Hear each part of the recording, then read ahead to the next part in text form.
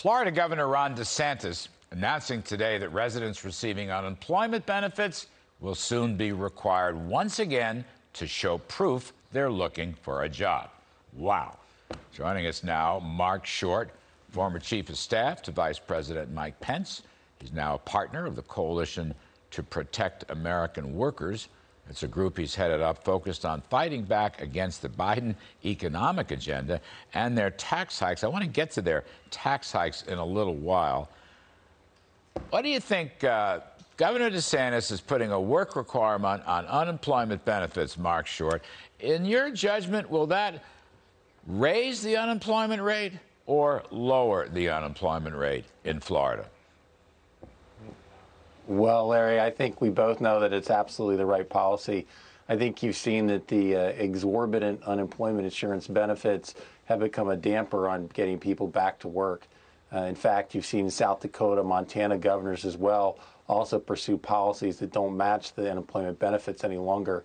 Uh, we see it particularly in the hospitality industry where uh, it's harder to get people back into into the labor market. And uh, I know that you were on the side of angels back at the end of the Trump administration when there was discussions of COVID relief packages and saying that those sorts of benefits were too generous because it'll give incentives for people not to come back to work. So we shouldn't be surprised when you extend these benefits indefinitely. That's exactly what's happened.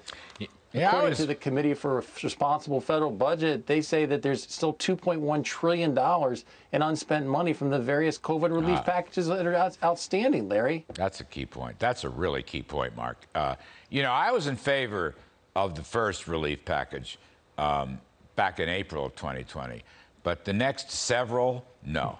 The more unemployment benefits. I think, the more unemployment you're going to have. And the longer the benefits, the longer you're going to have it. Now, let me ask you a question. This is a related question. Um, suppose the federal government, suppose Biden put work requirements on unemployment uh, benefits. Would the unemployment rate go up or down? Just asking.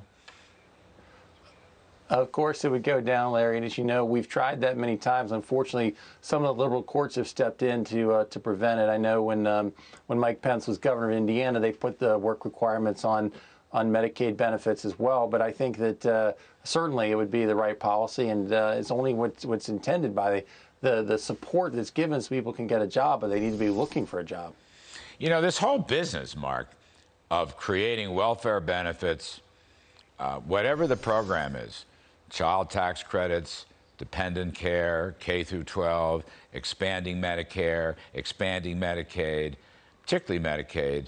Uh, there are no work requirements. We used to have work requirements. I had Gingrich on this show a couple nights ago. He was there negotiating bipartisan with Bill Clinton. Now, Team Biden, uh, I don't know whether it's President Sanders or President AOC or President Biden or whatever, um, they're stripping all that away. I think it's the most pernicious thing that they're doing, Marc Short. Larry, I agree. I think one other element of this, though, I think we have to be sympathetic to is there are a lot of parents who actually are staying home because we haven't opened our schools. Mm-hmm. And as you know from our COVID task force discussions, there's no reason that schools shouldn't be open. Uh, schools should have been open a long time ago. There's no, if we were following the science, they would have never closed down schools in the first place. And so there is there is a percentage of that unemployment that represents, in particular, um, uh, married moms who are basically staying home to take care of kids. That I think we uh, the best policy we could do is actually open the schools. We'll get them back to work too. Totally agreed. Totally agreed. Now, in terms of your your new, your new think tank here, did you know you probably did. But did you know that if President Biden's tax policy goes through, we will have higher taxes than China? Did you know that? I mean, we will have a higher corporate tax, we will have a higher capital gains tax, and we will have the most incredible inheritance tax, death tax, because of these policies. So, since I've been asking you all these puzzling questions, um, do we really want to have higher taxes than China? Is that part of our policy? Yeah, and I think, Larry, actually, I made that point last time on your show that we'd be higher than communist China if we go back to the 28%. And if you add on state and local taxes that corporations pay and they don't pay in other countries, we would actually be number one. Again, the highest tax country just on the corporate rate side, not even adding in the capital gains and the state taxes that you talk about. You know, there's so much bad policy that's pushed forward in this tax relief package. One piece that I think you would do a great job uh, highlighting is the, the Biden team has, has, suggested that they pay $80 billion to hire tax collectors, the IRS, right. will somehow magically generate 700 billion in revenue. There's no justification for that. And the irony is, at the same time they're looking to defund the police, they're looking to pay $80 billion of your tax dollars to hire more tax collectors, the IRS. Yeah, they're just going to chase waitresses around. They think they're going to chase wealthy people around, but wealthy yeah. people are going to be so far ahead of them uh, with tax avoidance. And anyway, this stuff goes on all the time as a revenue grab, which never materializes, right? It's a phony program to begin with. It just gives the IRS too much bloody power. Um, Marc Short, I want to, uh, final question. I want to ask some. We've been talking a lot on the show about the remarkable speech that uh, Senator Tim Scott gave uh, as his rebuttal to the State of the Union. And my view is he pushed Biden and Harris and the woke left back on their heels. It's the first time someone's really hit them hard, and they don't know how to handle it.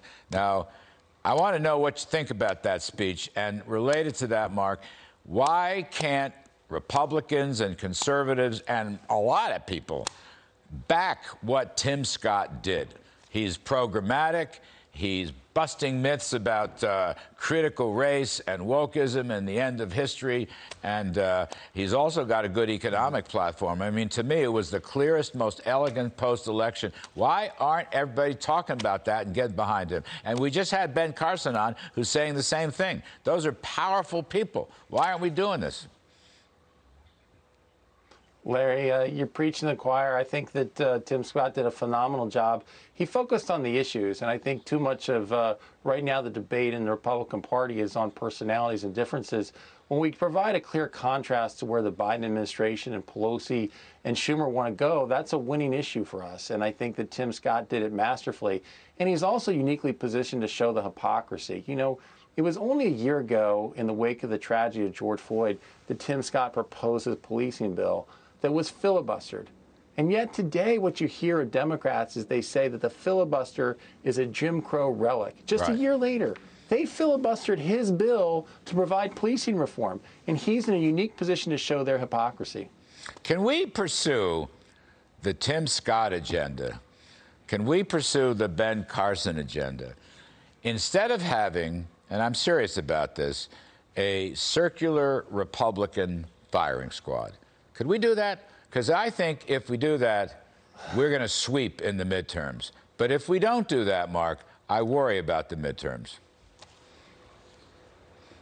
Larry, you're 100% right. Even look at, uh, you know, in 2016 when Donald Trump ran, he brought in a whole new voter. But it's that combination of traditional Republicans with the voters that Donald Trump brought in from a populist appeal on immigration in China that is a winning formula for us. And if we stick to that, as opposed to the personality differences, we will win again in 2022 and in 2024. All right.